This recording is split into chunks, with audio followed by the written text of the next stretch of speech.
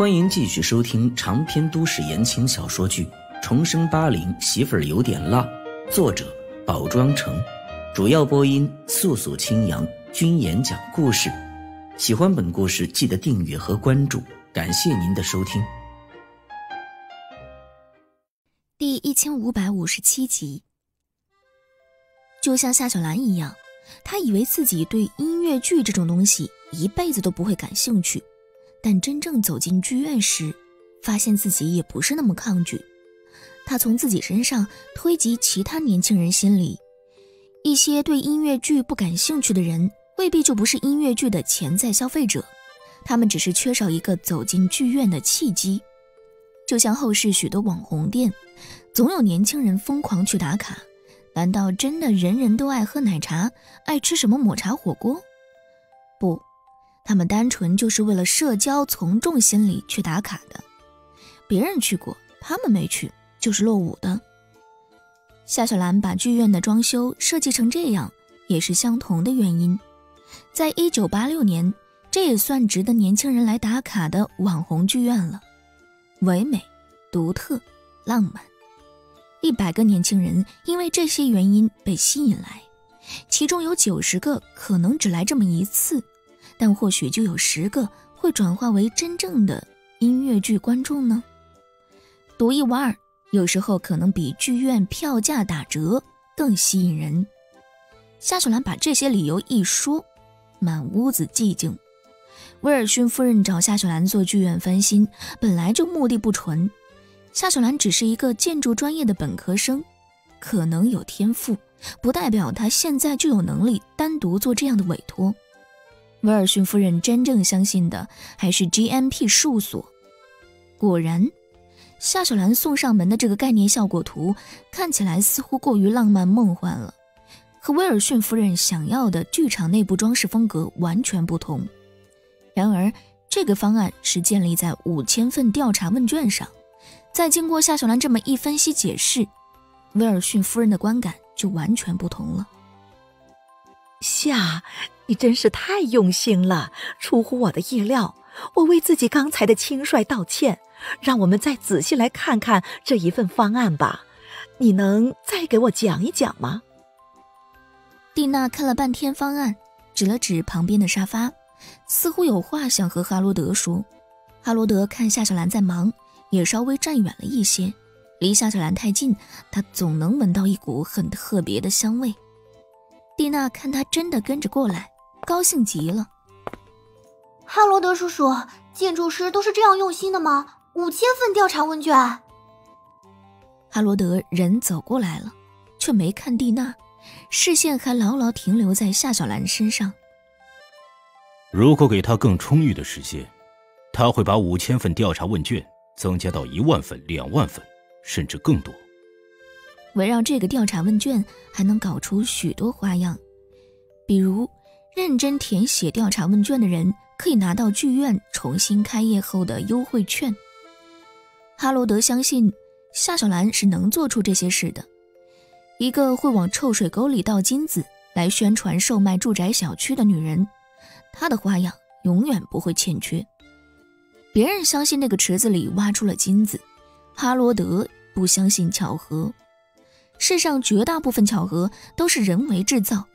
除去最不可信的选择，剩下的就是真相。臭水沟里挖出来的金子，只能是夏小兰自己倒进去的。一点金子才值多少钱呀？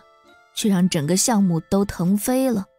所以，夏小兰会为了替客户做剧院翻新的委托，自己请人发五千份调查问卷，并不奇怪。这是夏小兰的手段，让新西亚更信服他的话，他的设计。这还只是五千份调查问卷的威力，要是夏小兰将派发的问卷数量扩张到五万份，哪怕她的方案难看的像一坨屎，新西亚都会仔细考虑下这屎样方案的可行性。当然，夏小兰这样的人在说服客户时会采用手段，但她永远不可能真的拿出屎一样的方案坏了自己的口碑。蒂娜盯着哈罗德，哈罗德。却盯着夏小兰。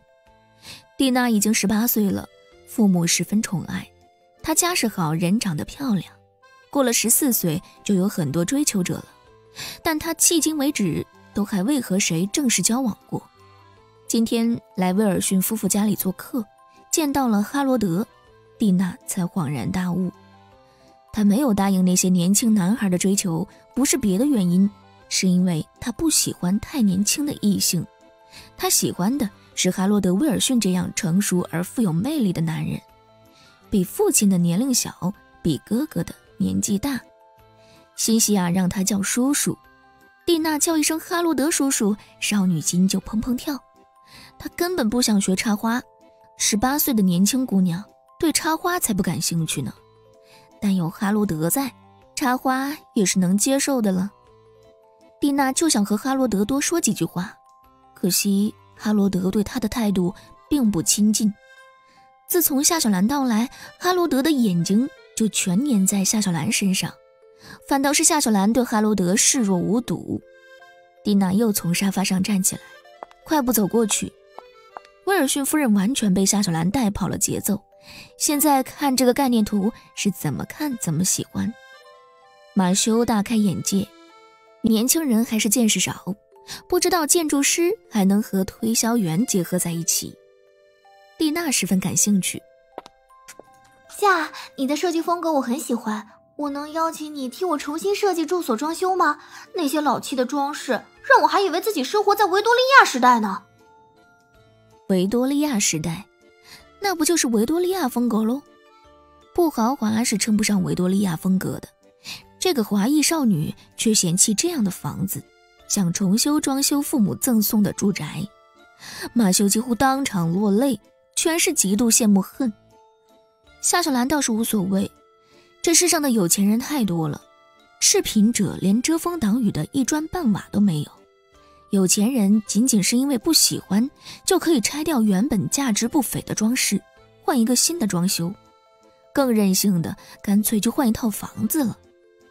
夏小兰露出笑脸：“蒂娜小姐，你能喜欢我的设计，我感到很荣幸。但做完威尔逊夫人的剧场委托后，我就要回学校了。如果蒂娜小姐不介意，我向你推荐我的学长马修·卡尔顿。”他和我同样是康奈尔大学建筑本科专业的，马修学长甚至还比我高两个年级。明年他就要毕业了。如今我们一起在 GMP 事务所实习，马修学长的设计水平自然比我更好。这话让马修和蒂娜同时很意外。马修是没想到夏小兰会将这样的委托交给他，竭力向客户推荐他。蒂娜也很意外。夏小兰之前也有说自己是 GMP 的实习生，她还以为是自谦。夏小兰是看着很年轻，可华裔都是这样，同样的年纪就是显得年轻啊。你还是学生？